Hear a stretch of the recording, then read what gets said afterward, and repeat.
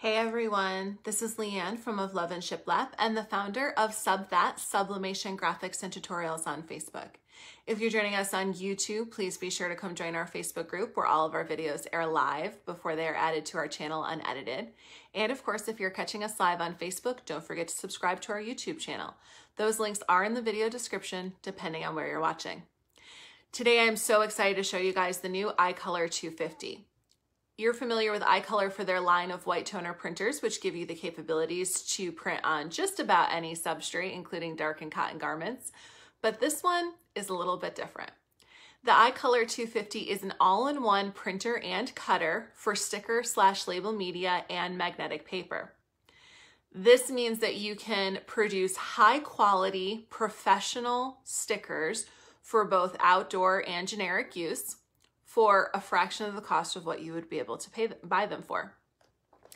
This printer looked really cool when I saw the promotional video last week, but now that I actually have it and have gotten to try it and use it, I am just mind blown at how cool it is. Not only is this printer fast and easy to set up, but the interface is very user friendly. And you guys know that I rarely use that word when it comes to software. I found the simplicity of this machine to be a step above. There are a lot of considerations taken in everything about this printer, and I feel that it makes all the difference in its usability for those who may not be super tech savvy but are looking to be able to add an item like this to their business.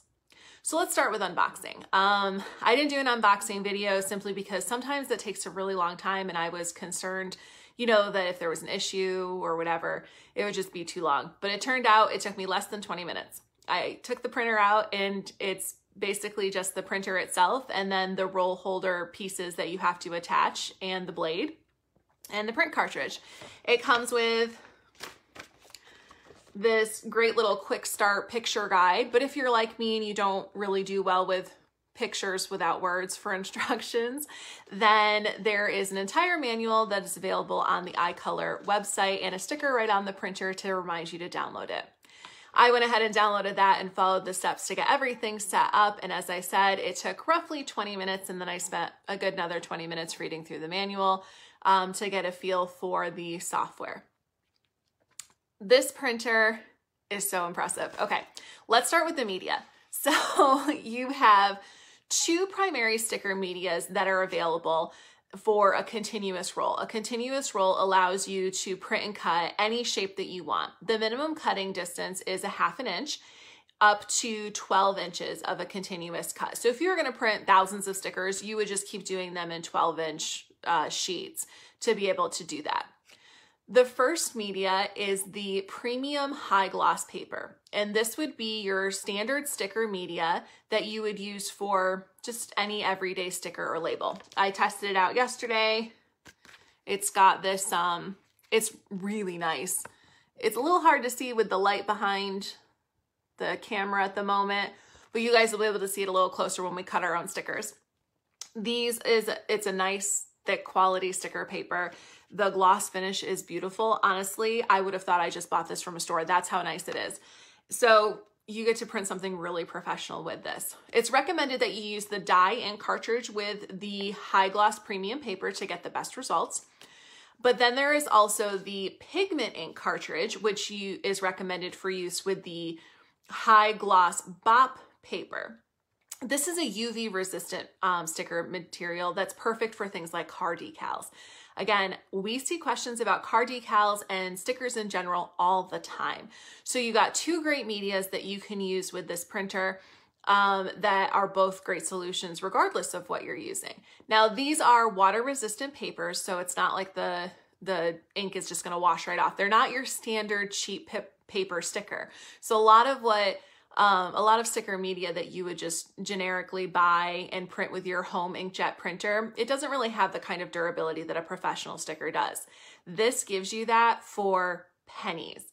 I ran the cost, and if you were to use the high gloss BOP media with the recommended pigment ink cartridge, um, it comes out to be one and a half cents per square inch. One and a half cents. so so unbelievably cheap to print with this printer. When you order your media, um, You'll, what you'll get is either one that you order comes two rolls. They are four and three quarters inches wide. And again, that maximum cutting distance is four and a quarter and they are 150 feet. So you get two in a package. It's 139 for the high quality BOP media and 129 for the premium high gloss media. What I think is so cool and innovative is that they have these little chips um, in the spindles that are in the core that when you put it into the printer in the designated roll holder, it automatically adjusts the blade settings. No guesswork involved. What? I know. It's so cool. It's probably my favorite feature because, I mean, I've had a silhouette cutter for years and sometimes dealing with adjusting your blade is, it's a lot. So the fact that you don't have to worry about any of that when you use the designated media is just incredible. Of course, there's always the question of if you can use aftermarket media, and you can. The printer has the ability to scan and read the media that you input. So if you happen to buy a roll like this that's similar size, that has, you know, circles or squares or ovals, rectangles, whatever it is that you're using.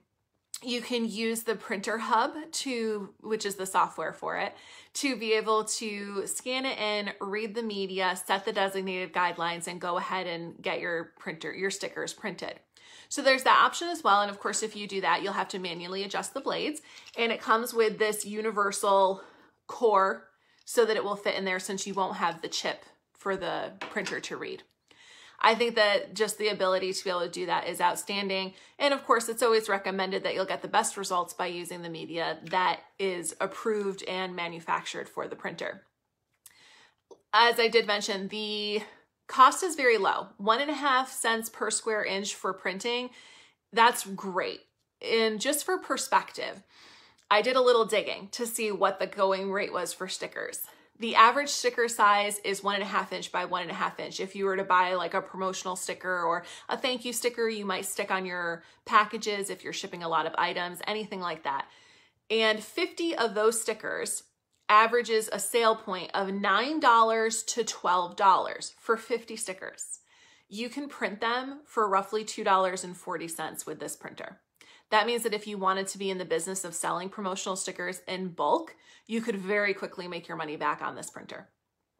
Another common question is about the ink cartridge. The This printer features another unique technology. It has two, it has an all-in-one print cartridge and you can choose between the pigment, uh, pigment cartridge and the dye cartridge. Now you can use either cartridge with either media, so you don't necessarily have to buy both. But unlike a traditional inkjet printer where you have to worry about clogged print heads and print lines getting air in them, this printer has everything all in one built into the cartridge. And when you change your cartridge, you change your printer head. And then there's no printer lines anyways for the ink to go through. This saves so much stress and so much maintenance. And it is amazing that you can just pop out one cartridge in media and pop in the other so that you always have what you need for your business if you're choosing to print a combination of everyday stickers and UV, res UV resistant stickers as well. I thought that that feature was just unbelievably cool. And the cartridges are very reasonably priced. They're a high capacity cartridge and it is CMY, CMY in one. Uh, the dye based one is $79 and the pigment one is $84. So the printer itself is $29.95. So a total all-in cost of about $3,500 when you factor in shipping and tax and all that other stuff to get you started for this unit if you were to order all of the available media. The magnet media, which I haven't really mentioned yet, is um, going to be available in a few weeks. I've already ordered it. I can't wait for it to come in, um, but it's just not available yet. So I'll do another video when that one comes along so that I can show you that. Either way, the cost per use for this printer is so low and the ability to resell stickers and magnets, even at a wholesale bulk rate, is just unbelievable. You can honestly beat the prices of places like Sticker Mule that you can offer better pricing than they give if you're if they are selling 150,000 stickers at once. You can seriously beat their prices. It's amazing. Okay, so in addition to all of that, then there's the software. If you are coming from any kind of a vinyl program like Silhouette, Sure Cuts a Lot, or Cricut, you are going to find that this uh, design or the software program is pretty much the same. A lot of the steps are the same, so it makes it easy to transition and very user friendly. You have the ability to import any graphic, trace it, and then set your offset to print your stickers and cut them. Or you can even design using the basic vector tools that are included. Now, it doesn't have every tool imaginable, but I am honestly really impressed by what is available between shape tools and gradient fill tools, text, manipulating curves and lines. You have a lot of vector editing capabilities. The program accepts pretty much all types of graphics. You can even import AI files, um, EPS and SVG if you're looking editable vector. And then of course you can choose all of your standard uh, flattened graphics such as a PNG, JPEG, or TIFF. The software, as I mentioned, is very user-friendly. It has a great intuitive interface, and I know that you guys are going to love it. If you're interested in purchasing this printer, you can use the code SUBTHAT, S-U-B-T-H-A-T, to order it right from the iColor website. Everything is ready to ship except for the magnetic media, which is will be available in a few weeks, as I mentioned and the code will get you 5% off. I think this is the first time we've had a promotional code and it's eligible for all iColor consumables and the iColor 250. So like I said, you can order that right on the website, icolorprint.com. Those links are in the video description as well. So let's go ahead and I'll pop over to the computer and I'll show you guys how this program works and how to print a sticker. You guys, it's so fast. I'm really excited for you to see this in action. So let's just pop over there and get going.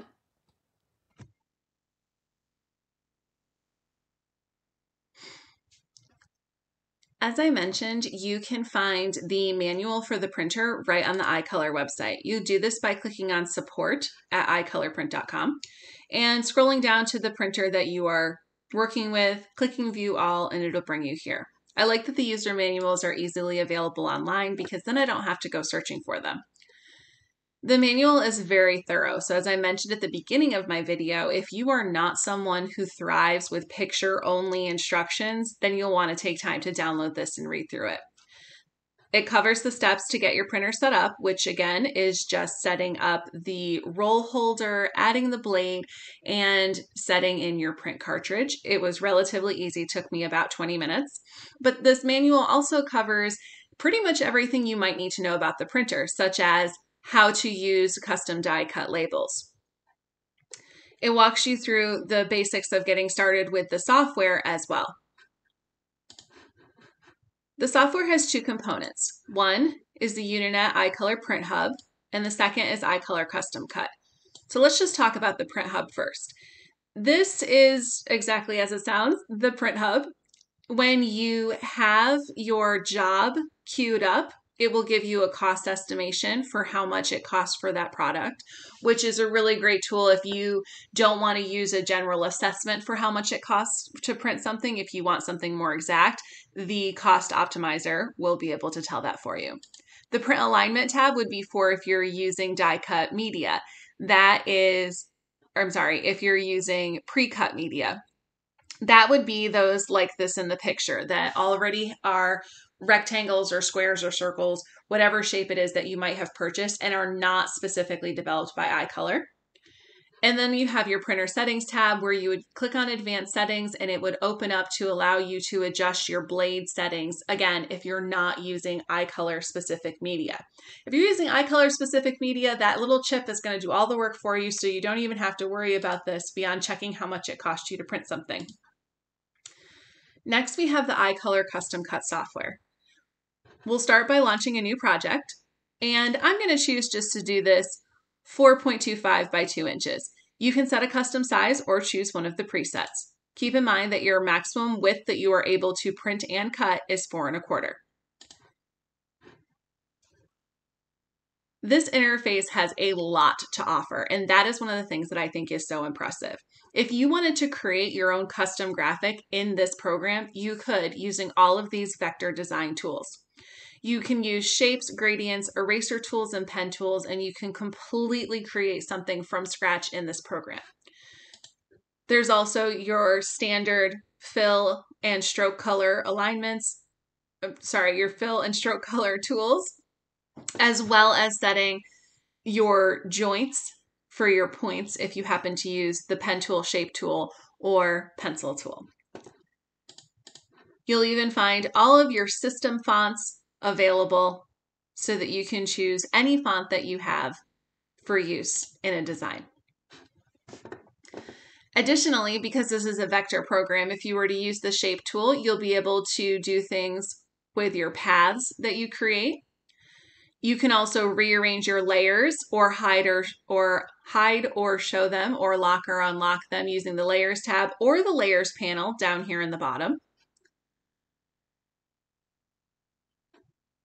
And you can create clipping masks, clipping paths, and distribute your designs or align them however necessary. So if you're familiar with Silhouette, Cricut, Sure Cuts-a-Lot, or Inkscape, then you're going to find that everything that's within this program pulls on all of those different programs to give you the best of what you need to create your own graphics inside of this program. Most of us are probably going to be printing designs that either we've purchased or we have or someone's logo. So to do that, the standard sticker printing, you're going to start by going ahead and hitting that import icon. You can choose any kind of graphic. If you happen to use an AI, EPS, or SVG file, you'll be able to make edits to the different colors and the layers all throughout your layers panel. I just happened to import a PNG for us of one of the new designs I've released at www.ofloveandshiplap.us. And when you're doing something like this, or if it's a logo, it's going to come in as a flattened graphic. So that would be your JPEGs, your PNGs, or your TIFF graphics. So we'll start by resizing this. I want to make sure always that keep proportions is checked. And I'm just going to bring this down to one and three quarters of an inch since we did make our space two inches. Next, we'll click on that trace tool.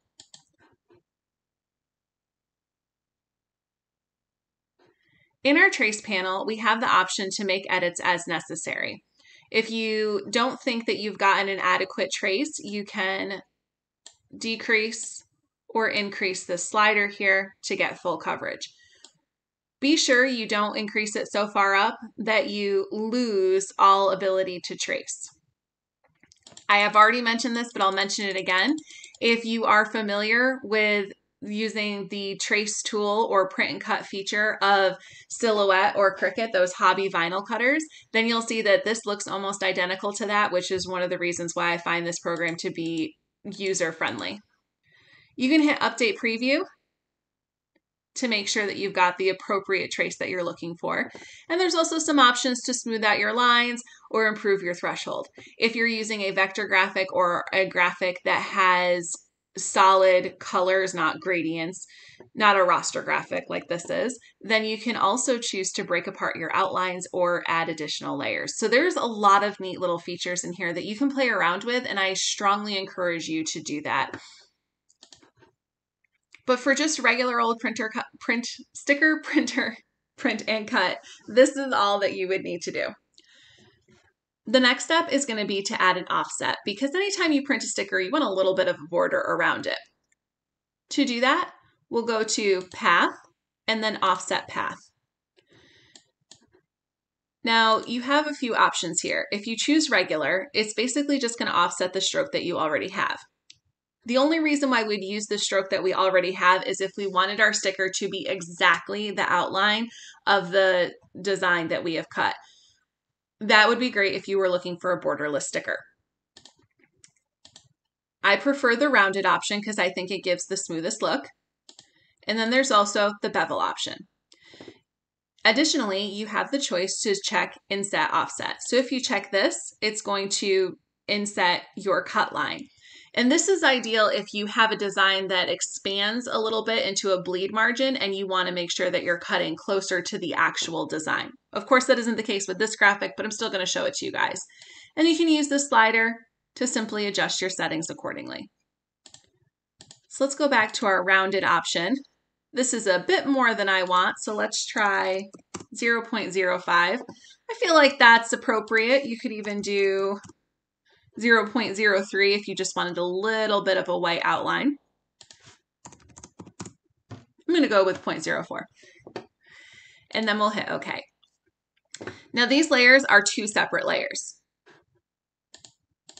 So you want to make sure that you click and drag and right click and group them so that they will be one if you're going to move stuff around or if you plan to duplicate them. Now you can duplicate a few different ways. You can right click and then copy and paste. You can, with it selected, go up to object and select duplicate. And this is great if you're doing a 12 inch sheet because then you can go ahead and set that you want how many columns or how many rows, the spacing in between them, and group them as one. So if I was going to print a whole sheet for a business, this would be so fast to be able to do that. This is about all that we have to do to be able to print our sticker, believe it or not.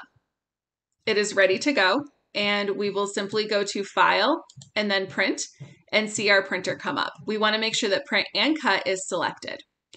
Now I'm gonna flip this back over to the printer before I hit okay because this moves very quickly and I don't want you guys to miss it. All right, so we'll go ahead and hit okay.